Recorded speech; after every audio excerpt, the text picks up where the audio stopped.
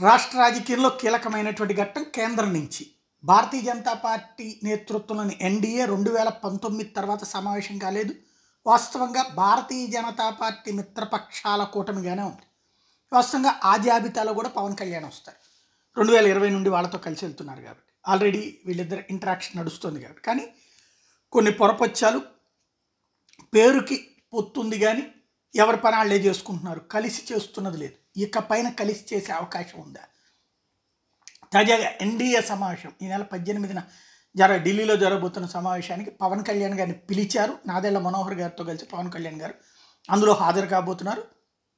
ఈ నెల పదిహేడో తారీఖు కల్లా అక్కడికి వెళ్తారు. పద్దెనిమిదిని పాల్గొనబోతున్నారు. ఇది అత్యంత కీలకమైనటువంటి పరిణామం నెంబర్ వన్.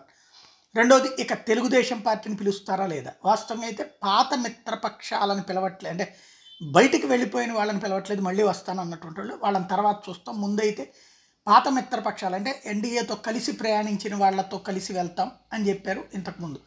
అయితే రెండు వేల పంతొమ్మిది టైంలో కలిసి వెళ్ళిన వాళ్ళతో పాటుగా రెండు వేల ఇరవైలో జాయిన్ అయినటువంటి పవన్ కళ్యాణ్ కూడా పిలిచిన నేపథ్యంలో ఇక తెలుగుదేశాన్ని కూడా అలా ఏమైనా పిలుస్తారు. ఎందుకంటే వీళ్ళు మద్దతు అయితే ఇస్తున్నారు జాతీయ స్థాయిలో. కానీ ఆ లెక్కనైతే వైసీపీ కూడా మద్దతు ఇస్తుంది కానీ వాళ్ళని ఏం పిలవలేదు. వాళ్ళని ఎన్డీఏకి పిలవట్లేదు కాబట్టి ఈ కాన్సెప్ట్లో ఏం జరుగుతుందనేది చూడాలి.